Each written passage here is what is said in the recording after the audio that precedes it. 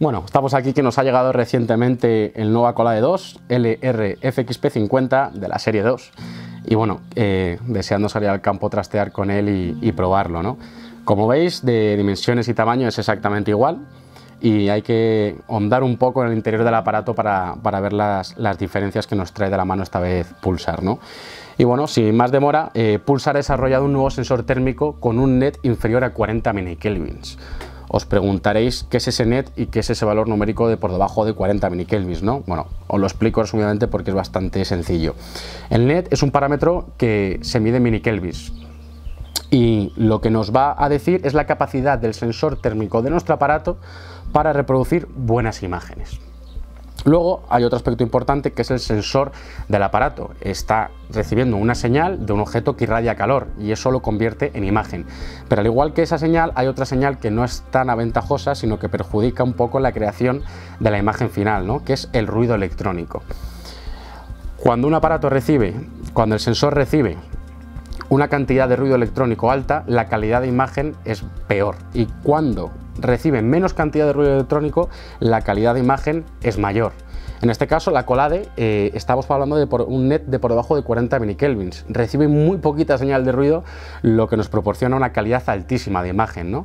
Eh, luego podemos hablar de otros valores net, como por ejemplo puede ser 50 minikelvins, que sería una calidad buena, 60 eh, minikelvins, que sería una calidad aceptable, y 80 minikelvins, que ahí sí que es verdad, contra más valor vamos subiendo, pues más ruido electrónico recibe el sensor, ¿no? sería una calidad suficiente. En definitiva, eh, un sensor térmico que tiene un valor net eh, bajo nos va a proporcionar una calidad altísima de imagen, ¿no? como es el caso del nuevo Colade 2 LRFXP50 de la serie 2, que estamos hablando de un valor numérico de por debajo de 40, que nos proporciona un detalle, una definición, una claridad en las imágenes muy muy alta, y incluso, en situaciones eh, adversas de climatología, situaciones en las cuales hace mucho calor, eh, un valor numérico de net de por debajo de 40 milikelvins nos va a dar una calidad y un rendimiento altísimo, proporcionándonos imágenes de una calidad muy muy, alta. Bueno, como, último dato, para que veáis la diferencia entre el modelo anterior y este modelo nuevo de la serie 2 en la cola de LRFXP50, os dejo aquí las dos diferencias, del anterior y de este. Bueno, otra de las características que también tenemos que nombrar es la función Image Boost, también desarrollada por Pulsar y es al fin y al cabo una tecnología de imágenes que lo que hace es mejorar la nitidez y el contraste eh, en la imagen, viendo la imagen eh, mucho más nítida, más enfocada y notándose la diferencia. Tiene una pestañita en el menú principal que se puede activar, tanto desactivar, y eso en función un poco al consumidor, ¿no? al cliente. Para mi gusto eh, se nota bastante la diferencia, con ella desactivada a con ella activada. Como os he dicho, es una mejora yo donde mejor lo he notado, donde más, más claro se ve, es, por ejemplo, en las siluetas, estamos viendo, imaginaros, un bicho, activamos, desactivamos la función y se ve mucho mejor el contorno, la silueta, incluso cuando no hay bichos, estamos en un ambiente general en el campo, imaginaros un monte con siembras, se ve muy bien eh, los linderos, los árboles, las ramas, cómo se ramifican, es una imagen bastante nítida, bastante clara, contrastada, que, hace que, bueno, pues que, se note notablemente la diferencia de calidad. Bueno, y como último cabe citar eh, que todos los aparatos de la serie 2 llevan incluidos la pantalla Super AMOLED y esto nos proporciona un campo de visión mucho más nítido y con colores más vivos. Gracias a la tecnología AMOLED podemos ver eh, mucho más vivos esos colores y nos favorece bastante porque como ya sabéis tenemos eh, una paleta de colores dentro del menú principal que podemos elegir el color que queramos para poder visionar un terreno y bueno, lo que nos proporciona es una alta resolución en cuanto a imagen y, y ver los colores, ver bastante mejor las cosas y con mayor nitidez. ¿no? Y luego otra de las características importantes es que mejora el rendimiento de la batería. A través de la pantalla Super AMOLED pues conseguimos una optimización del rendimiento de la batería y nos, nos, va a alargar más el tiempo de, uso del aparato. Estamos en un, en un, coto nuevo de la provincia de Cuenca y esta es la quinta salida que hacemos en él. Eh, bueno, pues haciendo un poco el seguimiento, localizar eh, bichos. Tenemos corzo, jabalí, cabra, venado y, gamo. Y bueno, venimos a hacer un poco la función, este es el quinto día, yo creo que va a ser el último, de bueno, seguimiento, conocer el coto.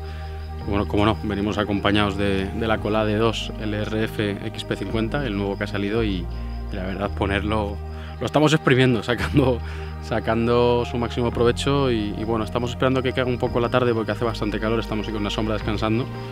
Y, y nada, en una horita saldremos a dar vueltas y, a ver si culminamos, como, como he dicho antes, esta quinta salida. Ya venimos de atrás con, ciertos animales grabados, con cierto seguimiento ya realizado. Y bueno, para poner, como aquel que dice, un poco la guinda al pastel y ver, ver a ver cómo acaba todo y el seguimiento final.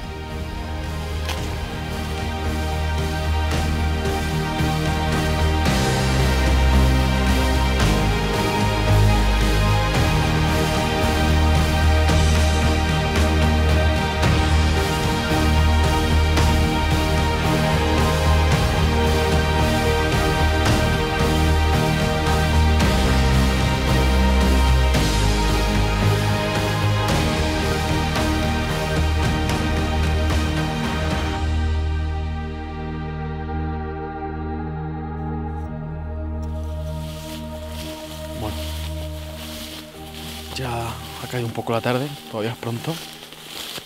Y estando en la época que estamos, que hay ya demasiada hierba, demasiada brote nuevo en el monte, nos vamos a poner en un alto que divisamos bastante y vamos a, esperar ahí. Acompañados con el térmico, pues podemos ver bichos de, en un rango de un kilómetro y medio a cero, incluso cuando vaya cayendo más la noche, saberlos más lejos aún. Así que perfecto para hacer un poco de conteo y para también como he dicho anteriormente, ver hasta qué distancia podemos incluso llegar a localizar animales.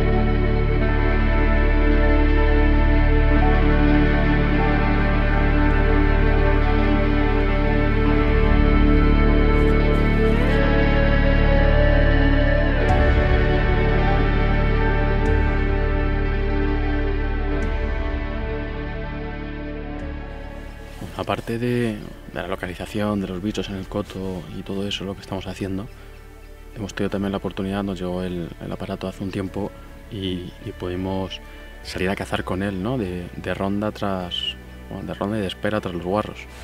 Y, la verdad que con éxito conseguimos algún que otro lance y sobre todo la experiencia de, o sea, hay, hay algunas imágenes muy bonitas entrando a los jabalís eh, que se ve pues la persona, el cazador con el guarro detrás y, hay algún que otro lance también curioso, ¿no? Y bueno, eh, es un poco eh, la funcionalidad de, la colade, ¿no? en este caso el, la colade 2 LRF XP50 y, bueno, que te, sirve tanto como para poder localizar, como, como hemos estado haciendo en el coto de Cuenca, como, como, para poder cazar, ¿no? como para poder hacer un seguimiento, una entrada. Eh, muchas veces nos ponemos en un cebadero y, encendemos un, faro, una luz, sin saber qué, hay, ¿no? que solo intuyes el ruido. Tiene, tiene su parte de, de, intriga, esa emoción, pero con el térmico estás viendo la entrada de un animal, estás viendo si entra una piara, si entra una guarra, si después de la piara a los cinco minutos empieza a dar un guarro grande vueltas hasta que entra el cebadero y se apodera de él no son cosas, son detalles que marcan un poco la diferencia y que te hacen a la hora de, efectuar un, lance, ¿no? a realizar un lance, pues ser más, más certero en función a, saber a lo que estás tirando. ¿no? Y, en eso la verdad es que tiene, tiene un aspecto el, el, aparato que, que, ayuda, que ayuda y favorece a, a saber elegir y, y, evitarnos alguna vez meter, meter la pata. Así que vamos a, vamos a, como he dicho anteriormente, seguir ahora a mirar en un, en un cerro los animales y, y a ver qué pasa.